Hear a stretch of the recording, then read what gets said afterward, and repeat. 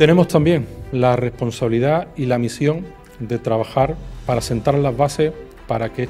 este proyecto Sevilla 2029 y para que esa conmemoración del 29 sea una oportunidad para la ciudad en su conjunto, una oportunidad para todos los sevillanos. Sevilla 2029 es un proyecto muy ambicioso que no mira solo al, pasado, sino también es un planteamiento de futuro, porque así conseguiremos que esto sea realmente un proyecto de ciudad. Le pediría a este Consejo Sevilla 2029 que tomara su primer acuerdo y es que me gustaría proponerles elevar a Su Majestad el Rey Felipe VI que tenga bien aceptar la presidencia de honor